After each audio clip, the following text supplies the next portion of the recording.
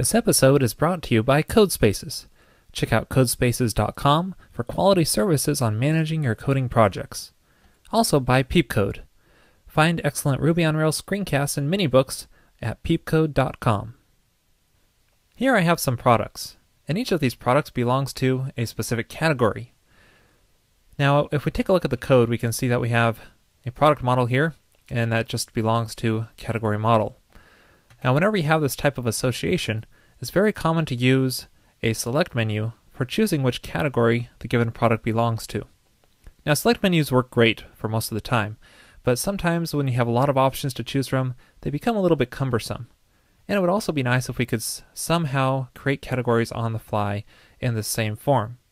So I want to show you how to do that through instead of using a select menu, use a text field where you type in the name of the category you want the product to belong to. And it will auto it will auto complete. So when you start typing the name of a category, a list of categories uh, show up so you can choose one of those. Or if you uh, type in a category name which doesn't exist already, it will create that category on the fly for us. So let me show you how to do that in this episode. Let's first start in the form partial for our product model. So as we can see here, I'm using a collection select field for choosing which category the given product belongs to. But we don't want that. Instead, we want to use a text field with some auto-completion to choose a category. So I'm first just going to focus on making the text field, and then I'll add the auto-completion magic later on.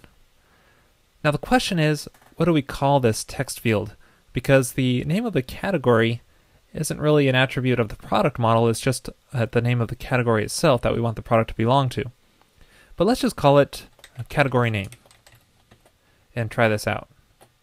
And of course this won't work because we don't have a category column, category name column, or attribute on our product model. But that's okay because we can add one using a virtual attribute. Now I use virtual attributes in pretty much every Rails application I create because they're just so useful in working with forms. And they're also, uh, I explain them more in episode number 16. I first introduced them there. So if you want to check that out uh, to learn more about virtual attributes.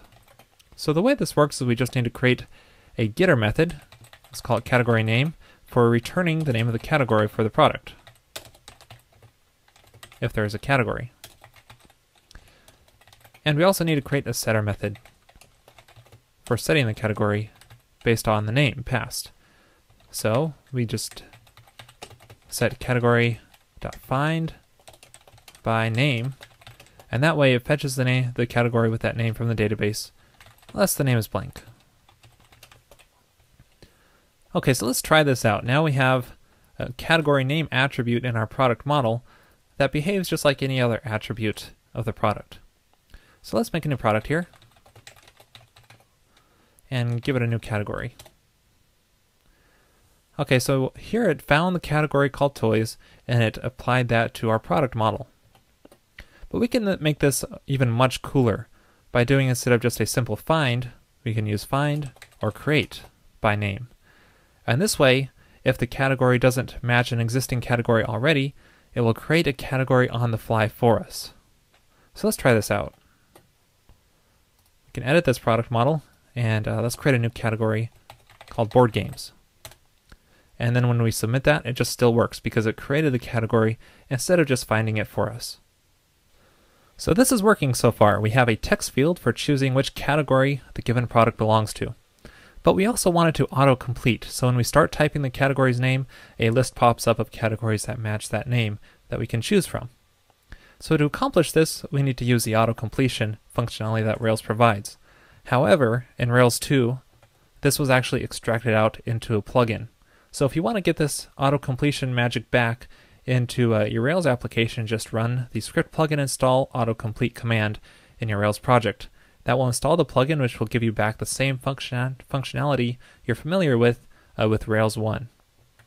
So once you do that, you also need to uh, make sure that in your application layout file that you're including the defaults for JavaScript. This will include the prototype and scriptaculous libraries, which the autocompletion relies on. Now this plugin gives us a very useful helper method called textfield with autocomplete. So in our back in our form partial here, instead of using a normal text field on the form builder, we just call text field with autocomplete. And this will uh, instantly turn a text field into one that ha has autocomplete functionality built in.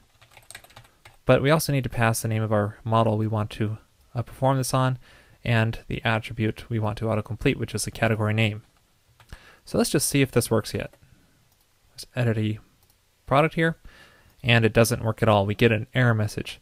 And what this is basically telling us is that uh, it's expecting a controller action to handle the auto-completion for us. It's called autocomplete for product category name. And it doesn't find that because we haven't created one yet. So let's try to create one how we would normally do it. So here we are in our products controller, and this is where it expects to find that autocomplete for products category name action to handle the AJAX request for uh, returning category names that match the given text we type. So to add this action, uh, the plugin gives you a method to do this called autocomplete for and then product category name. This was how you would normally set up the auto completion. But unfortunately, this doesn't work for two big reasons.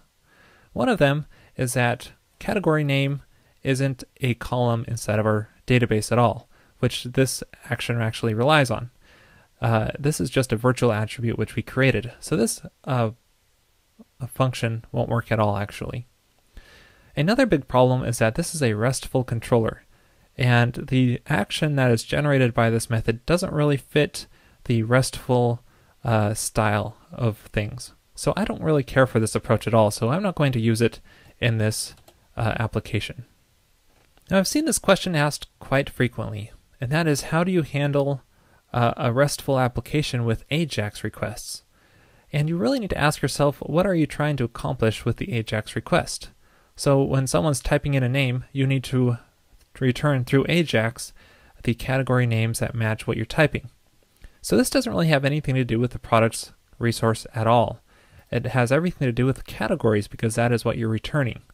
So that is exactly what we want. We want the categories controller here and specifically the index action because we're returning category names which match the text we type. And as you can see here, I've already created this categories index action for us.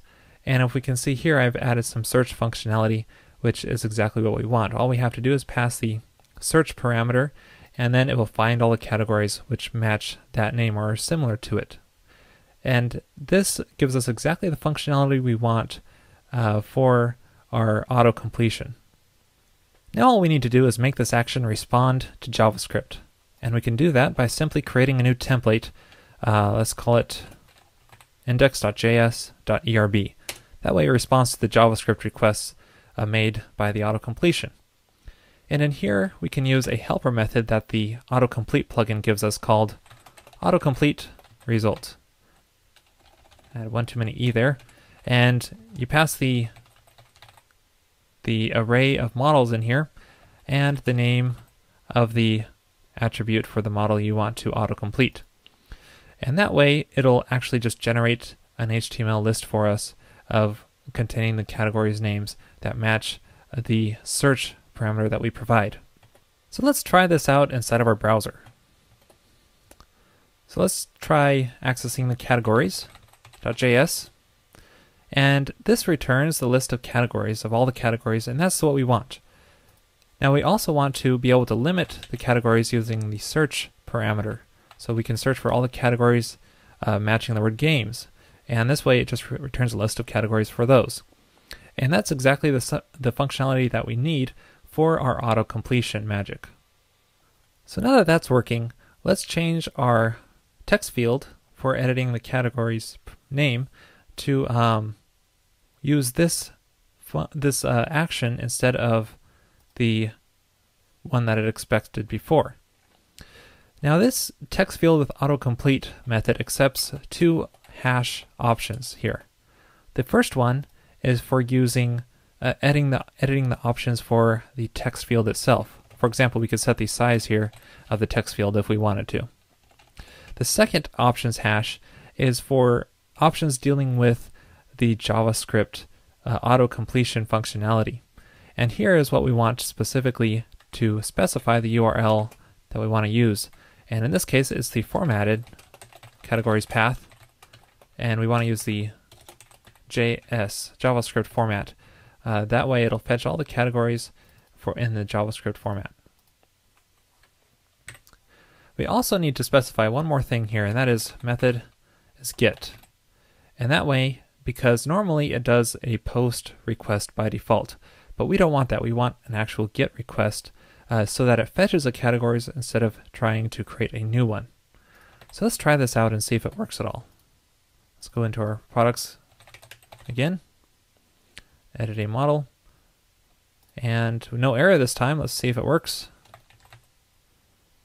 It's almost working. We get a list of auto completion options here. However, it's not limiting the options to what we type. It's actually just showing us all the categories. So when you have any kind of problem like this, you need to uh, debug JavaScript. And that can be somewhat difficult. But the reason I'm in Firefox here is because there's an excellent add-on called Firebug, which will show us all the AJAX requests that go on. So if we look here in the console tab, we can see there was an AJAX request, um, and this is what the re results returned. But if we look at the URL specifically, we can see that it doesn't really match what we want. It needs to say search equals game, not this other jumbled mess of characters here. So to get that functionality, we need to add one more option here to our, our helper method, and that is called with. Now the with option is a little bit strange because it's actually a string of JavaScript code that you need to put in here. So you need to do double quotes here, uh, search equals, and then whatever you want the search value to be in your query parameter for the URL. So search equals the uh, element value. And this will actually be the value of the text field uh, that you type in, whatever you type in the text field. So let's just give this a try. So let's type something in, and it works. We have our list of categories, which um, are just limited to the ones that match the text we type in. We can click on one to replace it here, and also notice it did search equals game inside of our uh, Ajax request. So that is a fully working auto completion field, and if we type in a category which doesn't exist, then it will actually um, create one for us because it doesn't already exist. So that's how you get a way, a way to set uh, associations through a text field and auto completion. In some ways, this might work a lot better than a simple select menu. And don't forget about the Railscast contest. You only have a couple more weeks to submit your five Rails tips to contest at railscast.com, and then you'll enter to have a chance to win some of these really great prizes. So check out railscast.com slash contest for details.